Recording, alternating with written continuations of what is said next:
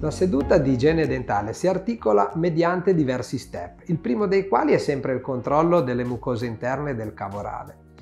Poi si passa al controllo delle gengive mediante l'ausilio di uno strumento che prende il nome di sonda parodontale. Grazie a questo strumento l'igienista dentale si rende conto dello stato di salute delle gengive del paziente. Verrà poi colorata la placca batterica perché noi vogliamo che il paziente capisca laddove è presente il nostro nemico, il biofilm, la placca batterica e il tartaro.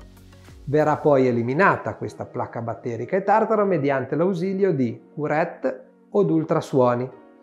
Ultimamente abbiamo anche l'aiuto di uno strumento nuovo che prende il nome di Profilassi Master che ci aiuta ad eseguire delle sedute minimamente invasive. Una volta eseguita l'igiene orale professionale grazie ai nostri strumenti, andremo poi ad applicare il fluoro e congederemo il paziente al prossimo appuntamento.